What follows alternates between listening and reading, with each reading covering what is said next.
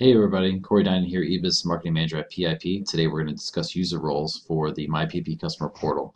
Uh, the first role we're going to talk about is the lead role. Uh, the lead role is typically meant for the owner, president, or senior management for the company who can assign out contacts for that company. Uh, they will have the full access of the MyPIP customer portal. Uh, the next two are going to be corporate buyer and branch buyer. Uh, both of those uh, user groups will be able to purchase online. Uh, they will also be able to see all the orders and invoices for their organization. The corporate buyer will be assigned to at the bill to level, uh, giving them access to all the different ship to information. Uh, the branch buyer will be assigned to at the ship to level, so they will not see all the different orders for that organization. They will just see whatever is assigned or ordered from or shipped to that particular particular branch. Underneath that, accounts payable, expediter, and sales rep, they will all be assigned to at the bill to level. Uh, accounts payable and expediter will not be able to order online, uh, but sales rep will be able to place sample orders online.